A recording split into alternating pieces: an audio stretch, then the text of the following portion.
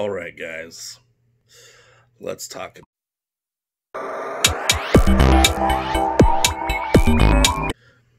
Hey guys, how's it going? Otaku Mike here, back again with another video for you guys today. And today we are talking about possibly one of my favorite manga slash anime series.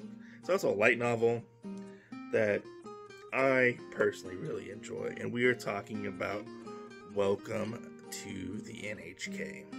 Welcome to the NHK is an eight volume manga series that is about a man named Sato who is what we initially uh, call a hikikomori, who is a person who is definitely afraid of basically interacting with the outside world. He's around in his mid 20s. He's a college dropout. He doesn't really have anything going for him. He is basically a, a leech. He he mooches off of his parents, getting a, a, a weekly or monthly allowance. Uh, he lives in filth. He just his life is very depressing. Um, you know, he thinks people are out to get him, especially like the NHK. He is has weird, weird hallucinations and stuff like that.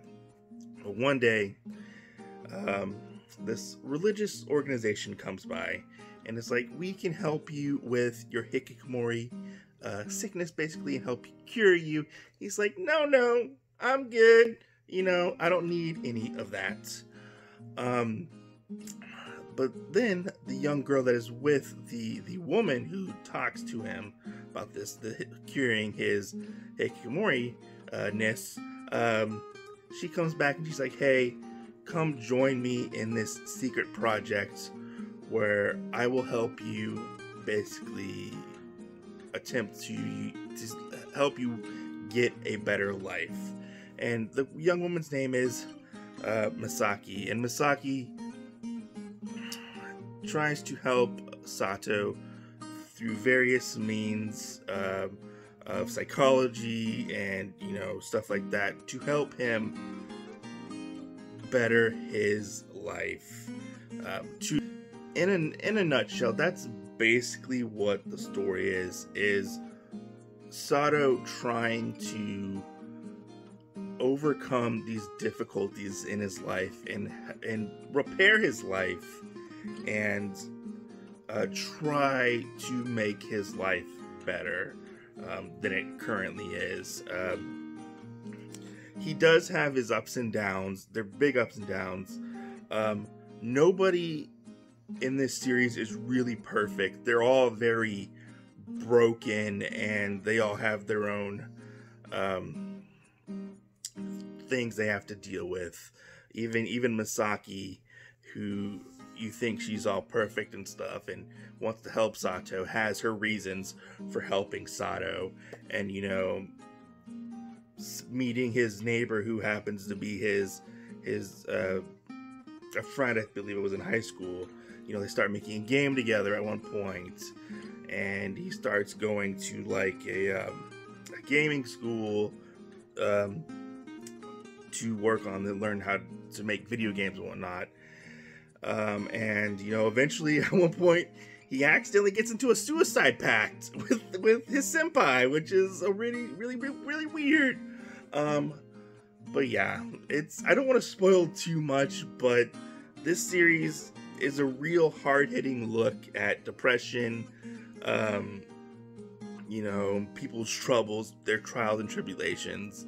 Uh, it's it's really, but I mean, there this this book does have its downfalls, where there are times where some of the comedy beats mix with the depressing story that don't flow very well sometimes. Occasionally, not always, because it is a dark comedy. There are some comedic moments within this, but where the book really shines is in those depressing character moments, and we get to see our characters especially Sato, um, hit rock bottom or be at rock bottom, and he rise to the top and potentially one day um, you know, make his life a little bit better. Um, you know, you could say his NHK really truly doesn't have a happy ending. It's more of like your life isn't as shitty now, and ho hopefully it'll get better eventually. That's basically kind of what the concept is of this. Um, it's it's a really depressing book, and it's not going to be for everybody. Um, the characters are where this book really, truly shine. Uh, it's it's the the interactions they have are very realistic. I would say, um, you know, especially coming from these self-destructive tendencies that Sato and other people tend to have in this book. It's it's really really interesting. Um, the artwork is impeccable. I personally really like the artwork. Some people might not like the artwork. I thought the artwork was really really good. Um, this does touch on some very dark subject matters like um, there's stuff that happens in chapter two. There's drug use. There's stuff like that. You know, there's people wanting to commit suicide, stuff like that. It's it's a book that's not going to be for everybody. Um, it's it's probably not gonna be. Honestly probably turn to turn a lot of people off. Um, but it's it's it's a series I feel like a lot of people really truly. But as I said before, seeing Sato, our main character, come out of this this horrible situation into a somewhat better situation is a it's probably the best part of the story is seeing Sato's journey uh, throughout this whole thing because man boy does he like it's it's hard to watch or read sometimes and see the decisions that Sato makes and how he reacts to certain situations. Um, it's, it's very self-destructive.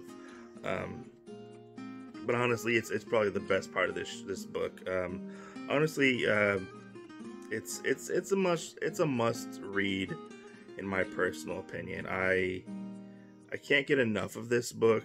Um, there are some differences between the light novel, the manga, and the anime. If you happen to watch or read one of them, um, any one is acceptable, honestly.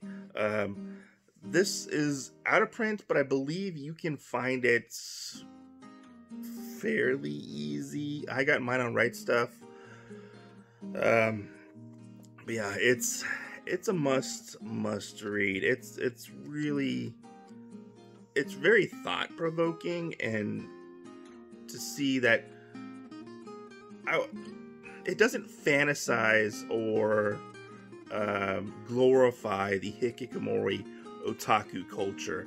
It really shines a light on it and it shows that it's very unhealthy, very um, self-destructive in that matter. And that's one thing I actually really, really like about it is the series doesn't pull its punches when talking and or, or talking directly to the people who, who love manga and anime.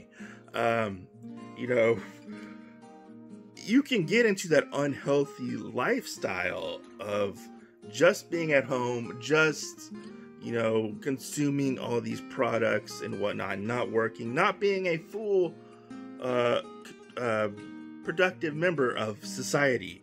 And that's one thing I really, truly like about this book is the fact that it doesn't shy away from the things that Sato has to go through when it comes to this this book. Like him trying to help create a write and create a video game and you know trying to hold down a job and stuff like that. It's it's really really interesting and i cannot recommend this series enough. Anyways guys thanks for watching. I'm otaku mike and i'll catch you guys on the next video. Peace out